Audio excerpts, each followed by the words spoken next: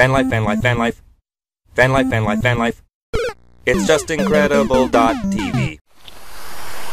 Why would you want to sit in a desert? I mean, there are so many RVers that literally buy an RV and then drive to a desert of all places and sit like like isn't the great outdoors supposed to be mountains, oceans, forests, you know, all the fun stuff? Or you know, playing?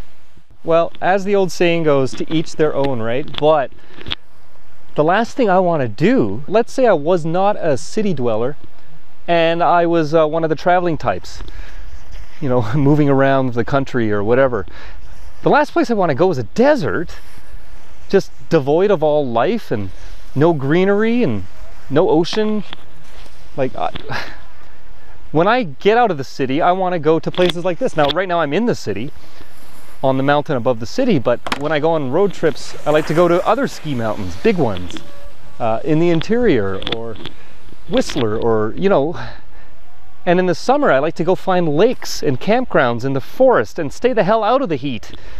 Jeez, I don't understand the, uh, uh, I guess the, the, the snowbird mentality. I could understand people back east, east of the Rockies, if you're living in uh, cold climates in both the US and Canada, you're going to want to go down towards like Florida in the winter uh, or the west coast. A lot of the times here in BC is, is usually warmer than 80% of the USA in the in the winter, so there's no need for the whole snowbirding thing.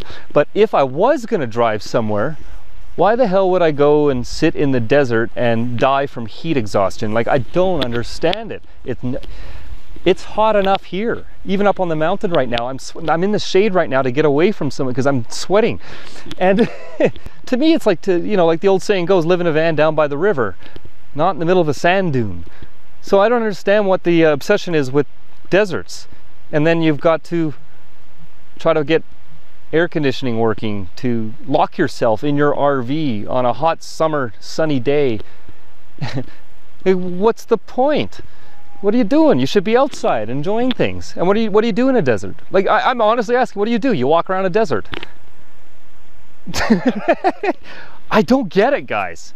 All the RVers I know, they want to get out to the forest. They want to get out to campgrounds. They want to get out to lakes and oceans and rivers and mountains like I'm doing. That is the big benefit of the RV lifestyle. Whether you're in the city and you can hit up small mountains like this or get out the country and go hit up big mountains or go sit by the ocean or jump on a ferry and you know all the things that I do basically.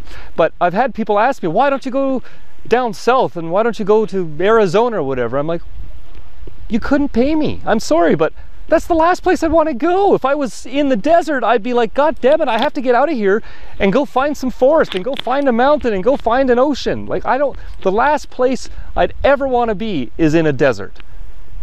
Desert, devoid of life. Mountain, life. I'm Just Incredible, and that's just my opinion. Keep on rocking in the free world, everyone.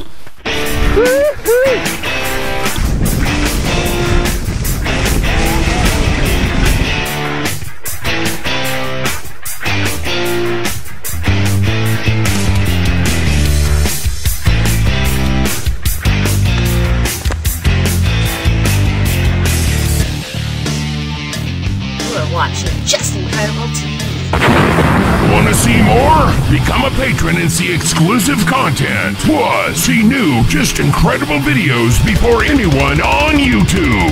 Head over to patreon.com slash jcredtv and keep on rocking in the free world.